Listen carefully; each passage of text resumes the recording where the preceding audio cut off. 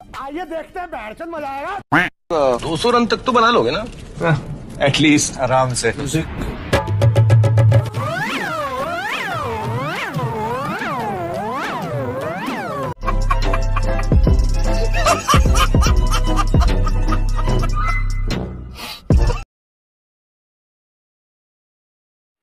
आज मेरे को खेल करके बड़ा मज़ा आया मैं लिटरली बता रहा हूँ।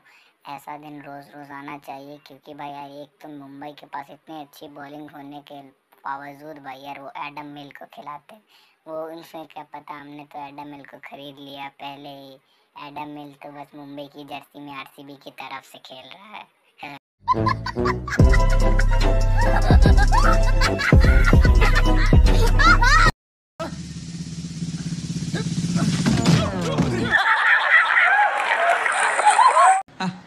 जा। मैं चला जाऊँगा। हाँ हाँ जा। मैं सचमुच चला जाऊँगा। चल चल चल चल चल। मैं जा रहा हूँ। अरे तू जा रही।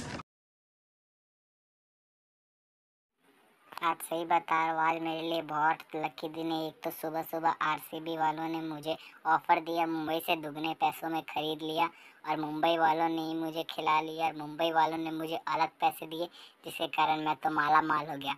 और मैंने आरसीबी वालों को इतने लूज बॉलिंग की कि मैं बोला, मार मार मार, लेकिन उन नस्पीटों ने सिर्फ़ बावन रन ही मुझे मारा।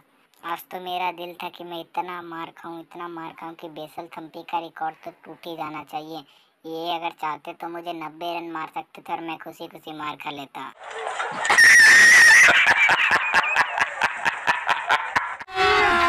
अभी मज़ा आएगा ना भिड़ो। रुको जरा सबर। देखना पड़ रहा है। अच्छा है मैं अंधा हूँ।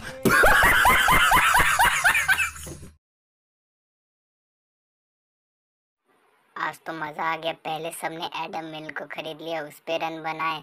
और एडम मिल तो एक बात थी, उसके बाद बुमराह बुमराह पे कभी टेनिस शॉट तो कभी रिवर्स स्वीप कभी स्विच आज तो मज़ा ही आ गया खेलने का।